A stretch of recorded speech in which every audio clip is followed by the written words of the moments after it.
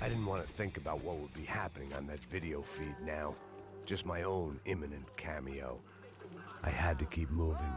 I hoped that. Ugh!